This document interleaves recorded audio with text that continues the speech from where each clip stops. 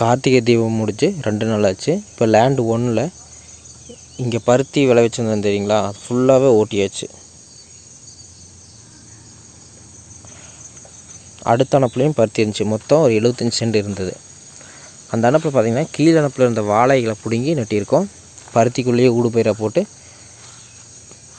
இதுவுமே பார்த்திங்கன்னா ஒரு மாதத்துக்கு முன்னாடி தான் உழவு ஓட்டியிருக்கோம்.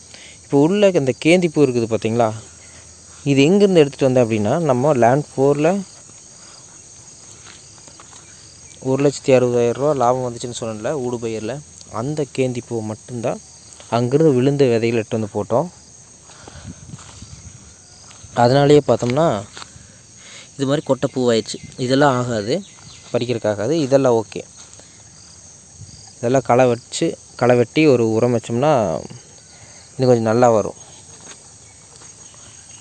சரி அது ஒவ்வொரு நாற்று நம்ம ரெண்டு ரூபாய்க்கு ஏற்கனவே வாங்கி நட்டியிருந்தோம் சரி அதனால் இது எப்படி வருது அப்படின்னு ட்ரையல் பார்க்கலாம் அப்படின்னு போட்டேன். இது பரவாயில்ல. இதில் எப்படி ஒரு ஆயிரம் நாற்றுக்கு மேலே அதுலேயும் நெட்டியிருப்போம் சரிங்களா? இப்போ பூ பறிச்சிருக்கல இந்த அரை ஏக்கராவில் ஒரு இருபத்தஞ்சு சென்ட் அப்படி நெட்டியிருக்கோம் அதுக்கப்புறம் ஒரு இருபத்தஞ்சி சென்ட் வந்து ஒரு ஆயிரத்தி ஐநூறு நாற்று வாங்கி நடப்பட்டிருக்கு. அது ஒரு மூவாயிரரூவா செலவு பண்ணியிருக்கோம். சரிங்களா? ஏன்னா வாழைக்குள்ளே கேந்தி பூ போடுறது வாழைக்கு வந்து அந்த வேரில் எந்த தொந்தரவும் வராது. வேர் மருந்தெல்லாம் ஊற்றுவாங்க ஈன்றக்கு முன்னாடியும் இந்த மாதிரி இலை வாழையிலும் வேர் மருந்து ஊற்றுவாங்க அந்த பிரச்சனையெல்லாம் இருக்காது.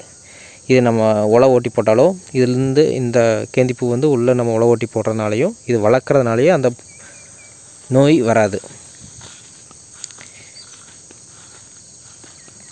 அப்புறம் இந்த கார்னரில் பார்த்தீங்கன்னா பாகற்காய் புடலங்காய் புடலங்காய் போடல பாகக்காயும் பீக்காய் போட்டிருக்கோம் வெண்டைக்காயும் போட்டிருக்கோம். இப்போ ரெண்டு மூணு டைம் பறிச்சிட்டாங்க. இப்பவும் அப்படியே ஒவ்வொரு அளவு பீக்கிங்காய் இருக்குது. இது வந்து நம்ம குடும்ப தேவைக்கு அதிகமாக இருக்குது இது வந்து கடலைக்காய் போட்டிருந்தது. கடலையில் அந்தளவுக்கு லாபம் இல்லை. இருந்தாலும் நம்ம அதை வீட்டுக்கு எடுத்து வச்சிட்டோம். பார்த்துங்க அரை ஏக்கரை கடலைக்காய். இப்போ இன்னொன்று நம்ம டில்லர் ஓட்டினோம் பார்த்தீங்களா? புதுசாக டில்லர் வாங்கி இதை ஓட்டினேன்.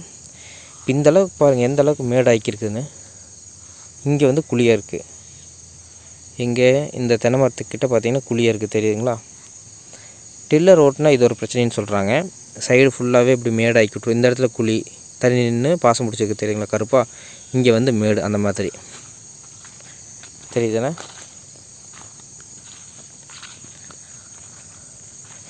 இது ஒரு ப்ராப்ளம் சொல்கிறாங்க அப்புறம் இந்த பில்லெல்லாம் சிக்கிருச்சு.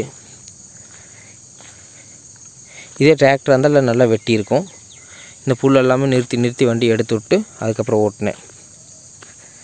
அடுத்து கீழே. இப்போ இது ஒவ்வொரு அனுப்பும் ஐம்பது சென்ட் அரை ஏக்கரா? இப்போ ஒன்றரை ஏக்கரா பார்த்துட்டோம். நம்ம களக்கொல்லி உள்ளே அடிக்கிறதில்ல தெரியுங்களா? அதனால் பாருங்கள் எந்த அளவுக்கு புதர் மண்டி கிடக்குதுன்னு.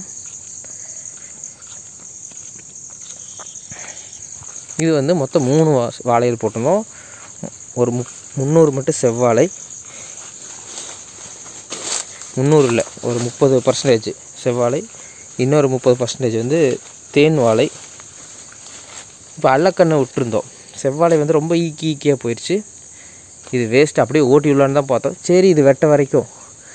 பாருங்கள் இந்த தேன் வாழை நல்லா இருக்குது. இதை வெட்ட வரைக்குமாவது இது இருக்கட்டும் அப்படின்னு விட்டுருக்கேன். ஏதோ வந்துச்சுன்னா வீட்டுக்காவது ஆகட்டுமே அப்படின்ட்டு. இந்த அளவுக்கு நல்ல வெளிச்சமாக இருக்கிறதுனால தான் இங்கே புட்கள் அதிகமாக இருக்குது இது நல்லா அடம்பாக வளர்ந்துருக்கு தேன் வாழை அதனால் புட்கள் இல்லை. இது பார்த்திங்கன்னா கோழிகள் வந்து டெய்லியும் சாப்பிடுது. இது பக்கத்து தோட்டத்தில் இருந்து வந்திருக்கு. கீழ் தோட்டத்துக்காரோடது.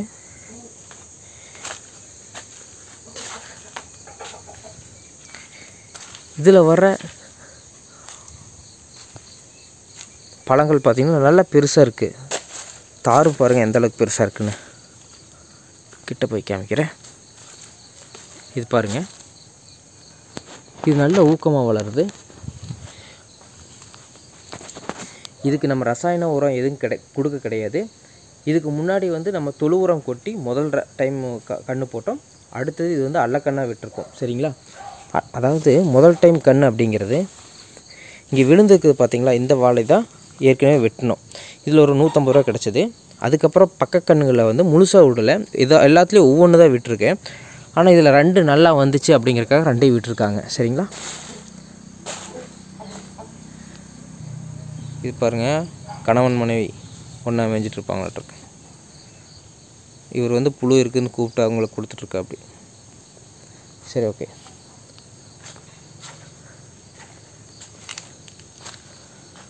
பார்த்தீங்களா?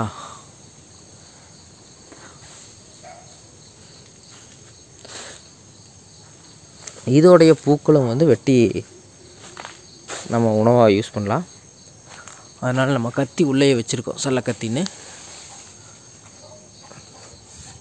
இது மூலிமா இந்த பூக்களை கட் பண்ணி விட்டுருவோம். அதனால் வந்து தார் விரைவாக ஊறிடும் சரிங்களா? ஒன்று ரெண்டு மூணு நாலு அஞ்சு ஆறு ஏழு எட்டு ஒம்பது பத்து சீப்பு இருக்குது அதில். இன்னும் நல்லா இருந்ததுன்னா பதினஞ்சு இருபது சீப்பும் கூட விடும் எனக்கு தெரிஞ்சு இந்த தார் எல்லாமே வந்து நல்ல விலைக்கு போகும். இப்படி ஒரு இரநூறுக்கு மேலே இருக்கும். சரி இதுவும் வந்து ஒரு முப்பது பர்சன்டேஜ் தான். அதுக்கப்புறம் ஆந்திர ரஸ்தாளி அப்படின்னு சொல்லி ஒன்று போட்டிருந்தோம். அது வேஸ்ட்டுன்னு சொல்லலாம். ஏன் அப்படின்னா அதுவும் நிறைய நோவு தாங்கிருச்சு தாய் வாழையிலேயே அதுக்கு அடுத்த வாழையிலையும் அதுக்கு நோவு பார்த்தீங்களா? இதுலேயும் மேலே சூரிய வெளிச்சம் அதிகமாக உள்ளே இறங்குறதுனால கலை வந்திருக்கு. இது வந்து கலை இல்லை சரிங்களா?